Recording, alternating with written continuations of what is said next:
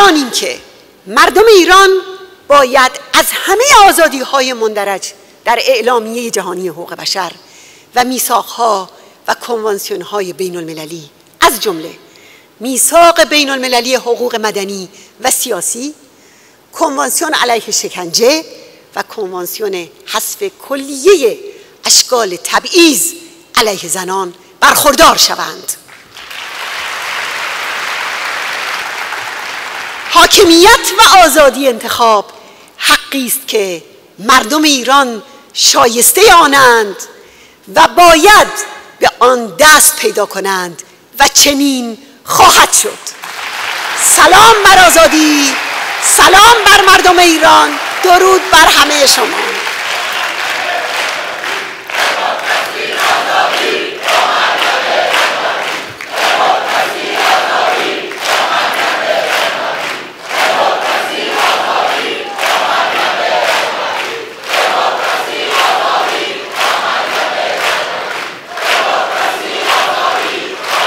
من فکر می کنم که امروز یک پیام بسیار بسیار قوی به دشمن ضد بشری شما دادید با این گرد هماییتون و همچنین یک پیام بسیار قدرتمند و پشتگرم کننده به مردم ایران به خلق قهرمان ایران و به مجاهدان آزادی در لیبرتی و هر کجای دنیا چرا؟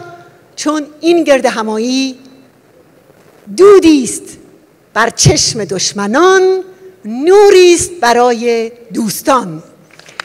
مبارک است.